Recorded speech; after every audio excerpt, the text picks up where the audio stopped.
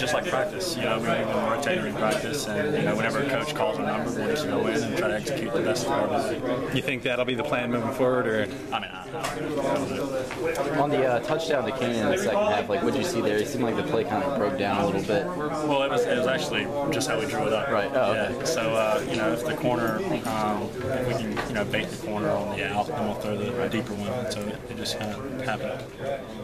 how did it feel to go out there and produce and just kind of put last week behind you? It felt good, you know. I mean, uh, you know, I've been talking to my family a lot about it, and just getting back to, uh, you know, getting back to me, and just getting back to, uh, you know, putting God first, and just doing what I can to, uh, to, uh, you know, help the team in any way. And so it wasn't really about putting last week behind us, but it was about getting a win this week. So it was good. Were you wearing too much of the program on yourself going into No, last not week? at all. Not at all. You don't think so?